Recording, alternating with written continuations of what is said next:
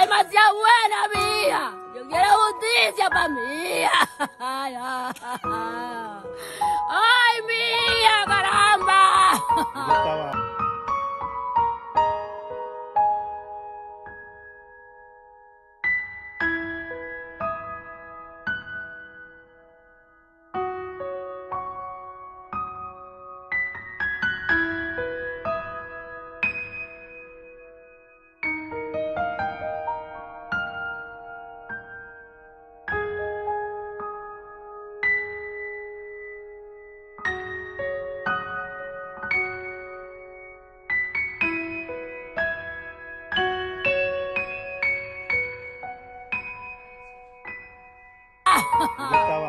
Bien, saludos amigos de Tu Sofoque TV Show, Josías TV Show.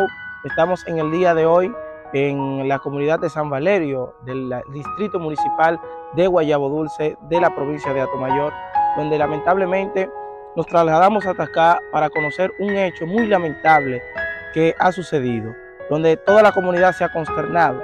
Y es que la joven Ginette Morla, de 29 años de edad, eh, fue hallada en su negocio y su vivienda eh, con múltiples heridas en la cara, en el cuerpo, con signos de violencia. Estamos aquí para conocer los hechos y le estaremos informando adelante. Vamos a ver.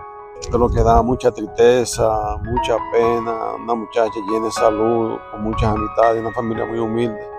Esto es una tragedia, mira, que uno no se sabe cómo explicar la situación. Me enteré ahorita de esta situación y es un hecho muy lamentable. Un hecho que puede decir nunca visto aquí en esta comunidad. Lamentamos profundamente y nos unimos al dolor de esta humilde familia por esta tragedia.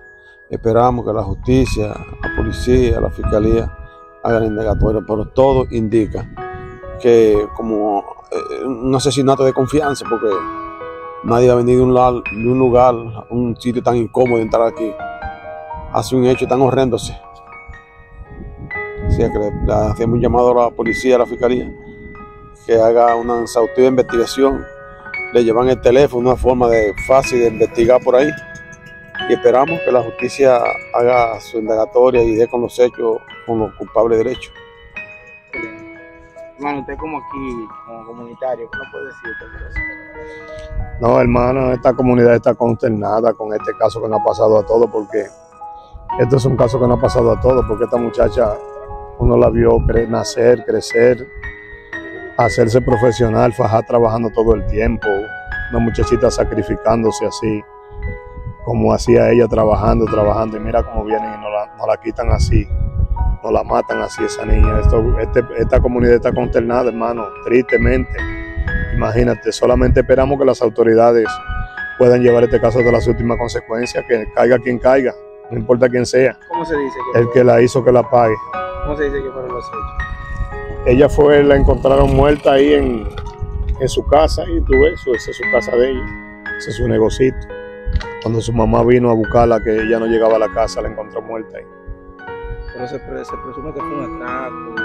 Bueno, le llevaron la pasola, le llevaron su cartera con todo, el teléfono y todo le llevaron, entonces, pero no entendemos bien, de verdad, de verdad. No puedo decirte bien que fuera lo que fuera, pero se le llevaron la pasola y le llevaron su, cartera con todo, entonces, ¿qué uno presume que puede ser? Bueno, el equipo del Ministerio de la Mujer se ha presentado porque han encontrado a una fémina fallecida. Eh, como ministerio, tú sabes que debemos dar el apoyo acá. Eh, hasta tanto no, no, se concluyan las investigaciones, pues eh, nosotros no, no, entraremos en, o sea, no participaremos como Ministerio de la Mujer.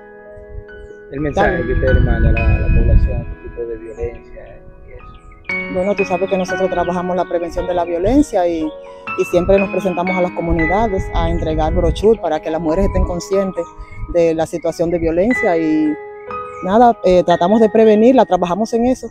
Lamentando porque una niña joven, bueno, además, imagínate, uno puede hacer mío. Vecina, la vecina, la abuela de ella es somos muy allegados, bien, nos llevamos bien todos. ¿Cómo se dice que sucedieron los? No te, no te sé explicar, mi niño, porque yo no supe esta mañana cuando me fundí a la cama. ¡Mataron a palo, mi hija!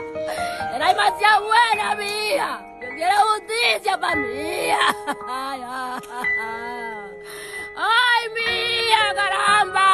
Ella estaba vendiendo en el momento, es lo que se dice. Ella estaba allá en la cafetería. ¡Ay, Dios! Me dicen que recientemente ya se había graduado de, de licenciado en Sí, educación. ella es profesora. ¡Ay, mía de mi vida! Margarita Fluencio. Eso es lo que se dice, que ella está vendiendo. Ah, ¿Qué más puede decir? yo no puedo decir más nada. ¿Hay alguien detenido? ¿Qué usted espera a hacer eso. Que muchos llevaban ellos juntos. Porque él estaba allá, pero él dice que no sabe. Ay, Dios. Señores, aquí vemos cómo las familias, los... Señores, aquí podemos ver cómo las familias, los vecinos lloran ante esta tragedia que ha consternado a toda esta comunidad y este distrito municipal. Es triste, le, le piden a la justicia que, tome carta en el asunto y que se llegue a los desaprensivos que han hecho este trágico hecho. Es todo por nosotros, Johnson de este lado, Juan José Santana.